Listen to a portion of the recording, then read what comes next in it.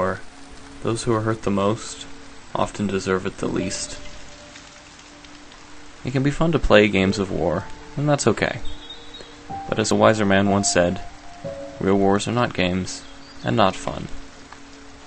Being a soldier does not make you honorable, and it is not noble to take another's life.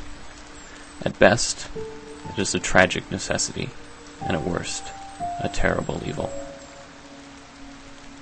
You, the one playing my game, are going to change the world, whether you want to or not. For the sake of us all, do better than those who came before you.